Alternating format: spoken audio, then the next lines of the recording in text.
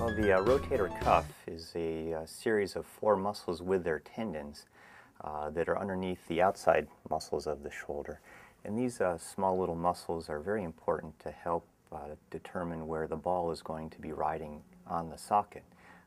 They don't do much for strength, but they're important because you need to keep the ball centered on the socket to help generate strength and power. People who tear the rotator cuff come in all age groups. Uh, most commonly, we see rotator cuff tendon tears in people over the age of 40. After about the age of 40 or so, if you have a dislocation, uh, one of the things we need to be worried about, did you tear the rotator cuff tendon or one of the rotator cuff tendons during that dislocation? Uh, we order MRIs uh, for the workup of suspicion of a torn rotator cuff tendon. Uh, we need to determine, do we think it's even repairable to even consider surgery. Uh, treating patients with rotator cuff tendon tears, uh, we can go conservative or non-operative or surgical for repair and reattachment of the tendon.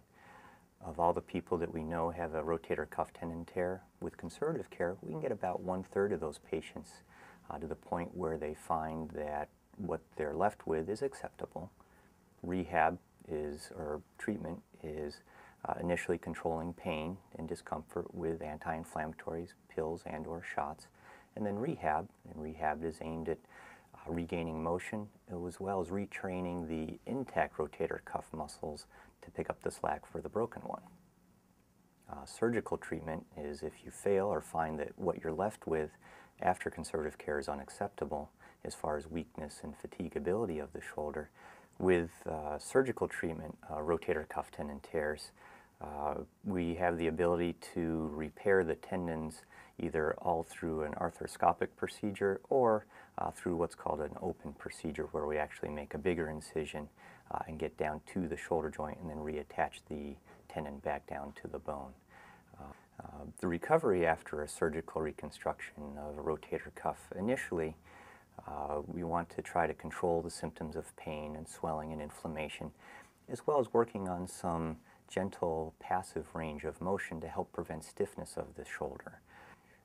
After a surgical reconstruction of the rotator cuff, uh, it will take a patient 9 to 12 months to fully recover uh, from the surgical reconstruction, although from a functional standpoint, they should be doing really pretty well by about 3 to 5 months.